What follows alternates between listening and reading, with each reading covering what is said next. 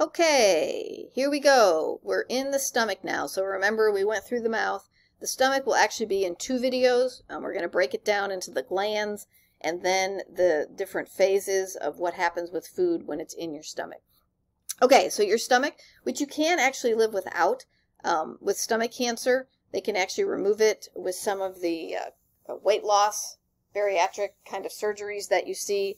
They can actually make your stomach much smaller or actually go around it um, so that you don't can't consume large amounts of food. A lot of the bariatric type of surgeries, they make your stomach much smaller so that you get full very quickly and you can't consume large amounts of food. So the stomach is loaded with glands. So we talked about hormones and what they do and how they regulate things. And so what we're going to do is we're going to go through each of the different glands, what they secrete, and give you an idea what the stomach actually looks like up close and personal. So you've got these, here's your mucosa layer, and here's your uh, submucosa, and you see these glands here. Again, there's several glands that will be secreting different things. Remember that the stomach is very, very acidic, and we'll talk about how these glands contribute to that acidity and also allow the stomach to tolerate it. Obviously, the environment has to be such that it can handle a very low pH.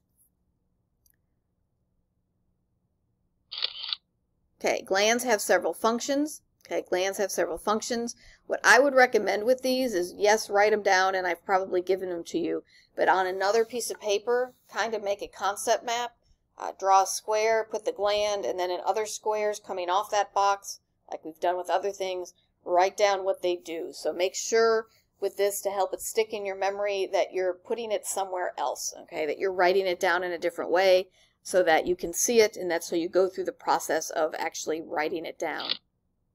So there are what are called mucous neck cells. These secrete mucus. Now what this is going to do function-wise is this is going, this mucus is going to allow the stomach to tolerate the very low pH. Um, so we're going to see how and why and how the stomach gets to be so acidic. And notice the pH here can range from anywhere from 1.5 to 3.5, which is very low. This is one way that it protects itself. It secretes this mucus. These mucus neck cells, which you can see here, are going to secrete mucus, which is going to protect the lining of the stomach from the acidity, okay, from the high hydrogen concentration that we're going to see in the stomach. And there's also some surface epithelial cells that are going to secrete this mucus, again, with the goal of protecting the stomach pretty much protecting the stomach from itself, protecting it from that low pH. Okay. All right, so how does the stomach, the mucus layer, protect the stomach? Um, this mucus layer has a lot of bicarbonate. Bicarbonate is a base, so it's going to kind of offset or balance out or neutralize that acidity.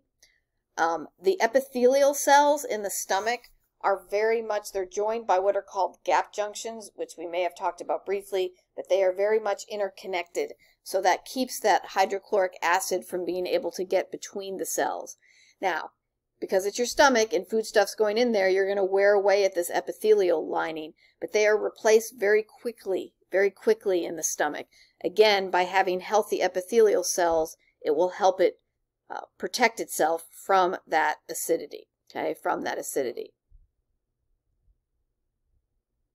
So what are ulcers? Now, if I asked you 20 years ago, or even 10 years ago, or maybe even now, what causes an ulcer, some of you would say stress does. If you asked your parents, depending on their age, they might say stress does or diet. Those things can make ulcers worse, but they are not usually the cause. Um, the number one cause is actually a bacteria uh, medications can also lead to ulcers, the wearing away of that mucus layer. If you get rid of that mucus layer, the stomach no longer has that protection from the low pH, and the acidity can eat away at it, causing an open wound or an ulcer. Okay, so if you get a breach of that mucosal lining, now before you would get an ulcer, you would get something called gastritis, which is inflammation of the stomach lining. Gastric ulcer is when you get when you start to erode away at the stomach wall, so you have an open wound. This can lead to a severe hemorrhage. hemorrhage. A person can die from this um, if if it's not caught, or if they if that bleed or if the wearing away hits a major blood vessel going to the stomach, that can cause massive bleeding or hemorrhage. Most are caused by a bacteria called H. pylori. Um, a large number of us have this bacteria, and most of us it is inactive if it is in you.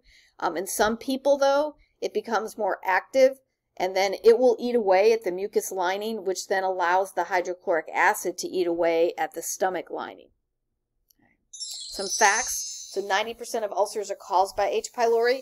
I'll give you a little side story here. There was a doctor in Australia who believed that this is when most people believe that ulcers were caused by stress. And so milk of magnesia, Mylanta, all of these different companies and Rolaids were coming up with all the stuff that you could coat your stomach and they were telling you to modify your diet and blah, blah, blah.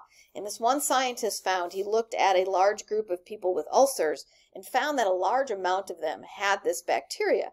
So he speculated initially, he kind of made a correlation here. Well, a lot of people with ulcers have this bacteria, so maybe this bacteria is causing it. And people just he couldn't get he couldn't get uh, he couldn't get presentations at conferences. They told him he was nuts. He couldn't get published. They said it was ridiculous. This wasn't what caused it. And he was just the more research he did, he was just he was just sure that there was some relationship here. So what he ended up doing, and I don't recommend doing this, is he took a beaker of this H. pylori and he actually drank it. And he, he became his own experiment. And he monitored how his stomach felt, what it looked like. Over time and over a few weeks, he started to develop gastritis. Um, now, his wife made him stop at that point and said, You're done. You need to cure yourself. And so he gave himself the antibiotic. But that they people finally listened to him. Um, he finally got published. He finally started presenting, and he ended up winning a Nobel Prize in medicine for his discovery of the role that H. pylori plays in in ulcers. So that's kind of a cool story. But like I said, I don't recommend drinking things too that can kill you uh, to prove your point. So what will happen is the bacteria burrows. It goes through the mucus lining, and again, the protective layer is gone. Um, 10 to 20% of those infected with the bacteria get the ulcer. So again, like I said, you may have it and not have a problem. Um, sometimes, though, something may activate it, and that may cause an ulcer. Okay, so the other 90% seem to be protected by active bacterial antigens from within the stomach, so they don't get it. Okay. Um, you can actually detect if you're infected with this H. pylori by a breath test. Pretty simple test. And then it can be treated with two weeks of antibiotics. So for years, people were taking milk of magnesia, watching their diet, stress, blah, blah, blah. And it turns out that in most cases, in most cases, it was this H. pylori. In other cases, it's usually medications that may cause the wearing away of the stomach lining.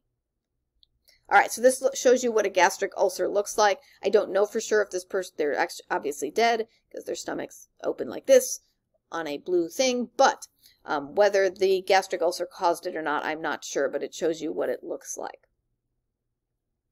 All right, so that was the mucous neck cells. The second type of gastric gland that you're going to see are called parietal cells. They are called parietal cells. What they do is they secrete intrinsic factor. Uh, this is needed for the absorption of vitamin B12. Uh, if depending on what year you're listening to this, um, vitamin B12 is necessary for the production of red blood cells and also the other types of blood cells. Uh, pernicious anemia is if you don't have this intrinsic factor, uh, you cannot produce blood proper red blood cells because you're lacking um, this intrinsic factor. Um, I have gone through a vitamin B12 deficiency, not severe. It affected my platelets more than anything. We don't know exactly why, but for some reason I do not absorb vitamin B12 in my stomach as I should. We don't know exactly why. It's not worth all that testing, but I have to get a vitamin B12 shot every uh, month to make sure I keep my uh, blood cells healthy. So that's what parietal cells do. The second thing they do is they secrete the hydrochloric acid that's going to give the stomach its low pH. Uh, so why do we need, why does the stomach have to be at a low pH? Uh, one is, we're going to talk about this later, we're going to convert pepsinogen into pepsin. Pepsinogen is an inactive form of the enzyme pepsin. Pepsin is going to help digest, chemically digest proteins into amino acids. So what the hydrochloric acid will do in the presence of proteins, it will convert the pepsinogen into pepsin. Okay? So that's one reason we need the hydrochloric acid. The second reason we need it is to kill microorganisms. Like we said, when you consume something from the outside, you're very susceptible to bringing things in that can make you sick. We talked about how salivary amylase can help act as an anti or not salivary amylase, sorry, take that back. That saliva acts as an antibacterial agent. This hydrochloric acid is even a stronger um, microorganism killer. So this low pH, a lot of the things you might consume when that fly would poop on your food would be killed by this hydrochloric acid. It also is going to denature proteins, which means it's going to break it or change its shape. Um, so if you eat meat, you consume it, okay, it gets in your stomach. We need to kind of change the shape of the protein so that the enzymes can work on it, so that the pepsin I was talking about up here can start to digest the proteins. We're going to need to change the shape of it, and that's one of the things the hydrochloric acid will do. Okay. Don't worry about this bottom one. Okay, you can take that one out. That's not that important. So that's the role that hydrochloric acid plays. And again, that's going to be, the hydrochloric acid is going to be secreted by these parietal cells. Okay, so how does, how do we get the stomach to be this acidic? I'm going to give you some of these, okay, but I'm going to try to simplify it for you. So as blood comes in, okay, as blood comes in, a blood supply is coming into the stomach, what'll happen is in the presence of the parasympathetic or when the parasympathetic nervous system is active, that rest and digest part of your autonomic nervous system, what'll happen is that will cause the blood to actively transport, okay, active transport. Got to go back to AMP1. Active transport is going against the gradient. So you have already have a high concentration of hydrogen inside the stomach. We're going to actively transport from low to high against the gradient. So we're going to need ATP. So when the parasympathetic nervous system is in control, the blood going into the stomach, providing the stomach with nutrients, is going to actively transport against the gradient, needing ATP, hydrogen into the stomach lining. So that's going to give you a higher concentration of hydrogen in the stomach. Okay. To balance out the charges, when hydrogen goes in, chloride's going to go and they're going to bond and then you're going to get hydrochloric acid, okay, which is the stomach. Okay. So just know that you have both the hydrogen and the chloride. And then what happens is the blood coming out from the stomach, because this hydrogen has left the bloodstream, the blood leaving, it's called an alkaline tide. It's going to be more basic because the hydrogen has left the bloodstream and gone into the stomach. Okay, gone into the stomach. So no hydrogen is, is actively transported against the gradient in the presence of the parasympathetic when the parasympathetic nervous system is in control. You don't know to need to know the details, but know there's chloride there, and then they will bond to find the to, to make hydrochloric acid, and that the blood, when it leaves the stomach, is going to be more basic. It's going to be an alkaline tide. And then the rest of the body, as the blood travels around, will have to kind of balance out that basic blood. Okay, that basic blood. Okay, the next type of cell you need to know are chief cells. They secrete that pepsinogen. So remember, hydrochloric acid is going to convert pepsinogen into pepsin, and pepsin's the active enzyme. Well, where did pepsinogen come from? It comes from these chief cells. Okay, it comes from these chief cells. Again, pepsinogen is inactive form of the enzyme when not in the presence of a higher HCl or hydrochloric acid concentration. So when there's a protein in the stomach, the parasympathetic nervous system you just ate, the parasympathetic nervous system becomes dominant. The blood then actively transports the hydrogen into the stomach, becoming more acidic. When that acidity goes up, the acidity goes down to become more acidic. The pH goes down, the acidity goes up. When the pH goes down, the acidity goes up.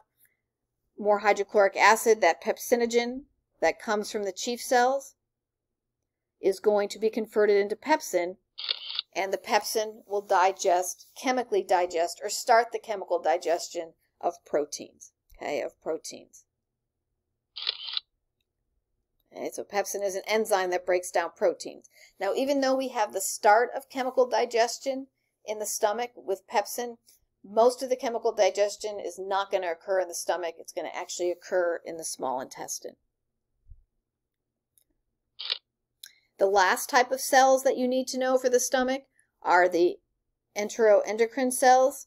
These are going to secrete several hormones, gastrin, cholecystokinin, and somatostatin, plus others. Now these, the gastrin and the cholecystokinin, we will talk about when we get to the next phase, when we talk about the different phases of the stomach. So what happens, the different phases of what occurs when your stomach has a, has chyme in it or food in it. Okay. So again, what I would do is go back to each of these cell types, starting with the mucus cells, okay. somewhere in a different kind of form, write down mucus cell in a box, and then write boxes off it. What does that mucus cell do? Okay, what does that do? Understand the basics of ulcers. Here's another type of cell. One box off it, it secretes intrinsic factor. What is that necessary for? Second thing it does, secretes hydrochloric acid. Okay, what is it going to do? Next box is chief cells. Okay, secrete pepsinogen. Connect that.